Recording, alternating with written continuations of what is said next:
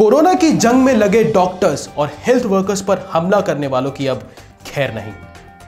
नमस्कार दोस्तों, मेरा नाम है छत्रेश मेहरा और आप देख रहे हैं चकाचक एक्सप्रेस। डॉक्टरों और आरोग्य कर्मियों पर हमला करने वाले अब नपने वाले हैं। एक और पूरा विश्व जहाँ कोरोना संक्रमण से लड़ने और मात देने में लगा हुआ है, वहीं भारत में इंसानियत के कई दुश्मन। इस संकट की घड़ी में डॉक्टर्स और हेल्थ वर्कर्स को निशाना बना रहे हैं।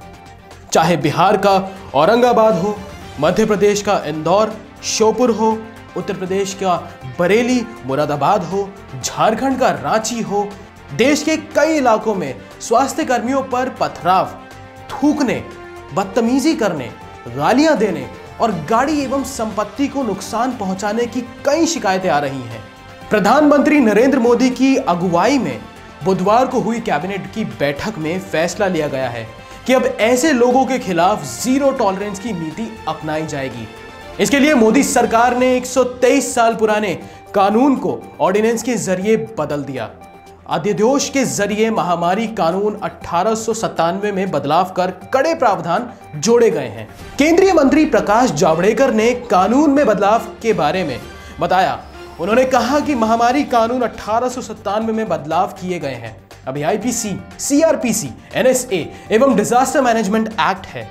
लेकिन यह मांग थी कि पूरे देश के लिए एक कानून बने। इसलिए सरकार ने दी एपिडेमिक डिजीजेस ऑर्डिनेंस 2020 लेकर आई। इसके मुताबिक, डॉक्टरों और हेल्थ वर्कर्स पर किसी ने हमला किया और गुनेगार पाया गया। तो तीन महीने से पाँच साल तक की सजा होगी। दोषी पाए जाने पर पचास हज़ार से लेकर दो लाख रुपए तक का जुर्माना देना पड़ेगा। यदि गंभीर हमला है तो छह महीने से सात साल तक की सजा का प्रावधान भी है।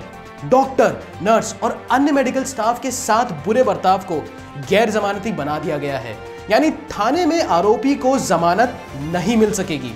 यदि डॉक्टर या स्वास्थ्य कर्मी की गाड़ी या क्लिनिक का नुकसान हुआ तो नुकसान की मार्केट वैल्यू से दो गुना वसूला जाएगा।